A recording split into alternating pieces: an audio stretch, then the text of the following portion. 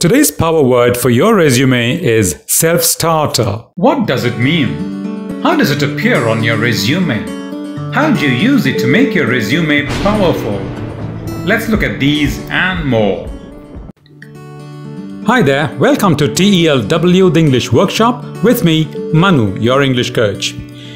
In this series of resume vocabulary videos, we're going to look at power words that will make your resume stand out in the crowd.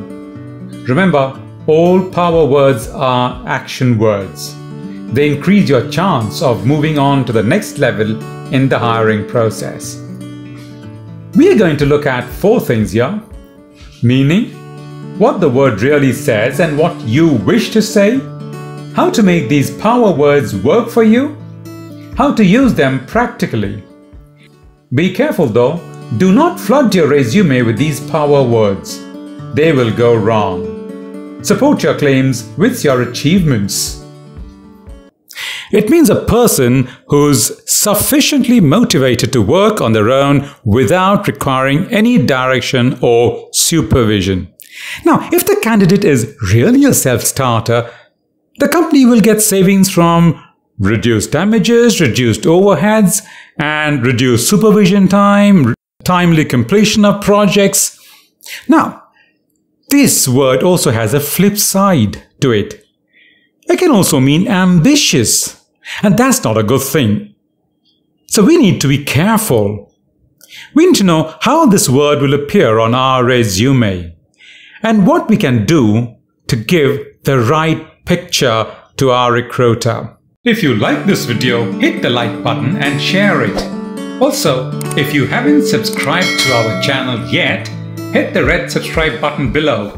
Don't forget the bell icon. Remember, when you're drafting your resume, you wish to look like somebody the interviewer would want to hire. You want to look professional, invaluable, dependable, and capable.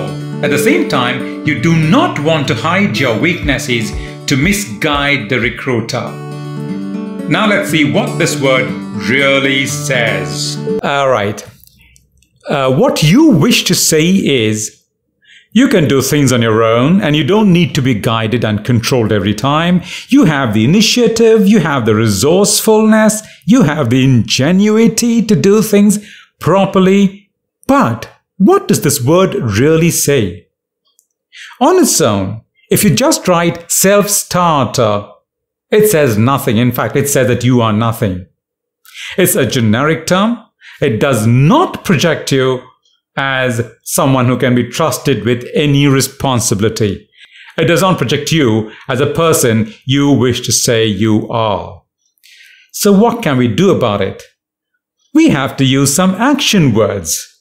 Action words like invented, started, initiated, devised, designed. So if you're a self-starter, these are the things that you would have done so far in your career.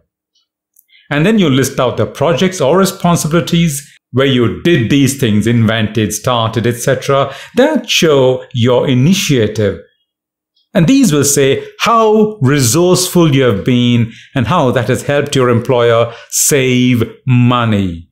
So you'll have to give the rupee value of the benefits that your company derived from your ingenuity. But be careful, don't reveal anything that your company considers a, business secret. Now let's look at a sample sentence here devised an internal control system for our on-site properties spread across 11 states. Saved the company 4.8 crores in the previous financial year by way of improved efficiency and prevention of theft. Now, this is the entry. So note the use of figures here. 11 states, 4.8 crores. These make it objective. Look at the specific time period, previous financial year. It's not for the past 75 years. And the nature of savings, we, the company improved its efficiency. The other one was prevention of theft. So this is what the recruiter then reads and then decides, all right, this is my man. Thank you for watching this video, liking it and subscribing to our channel. We'll see you in the next video. Until then.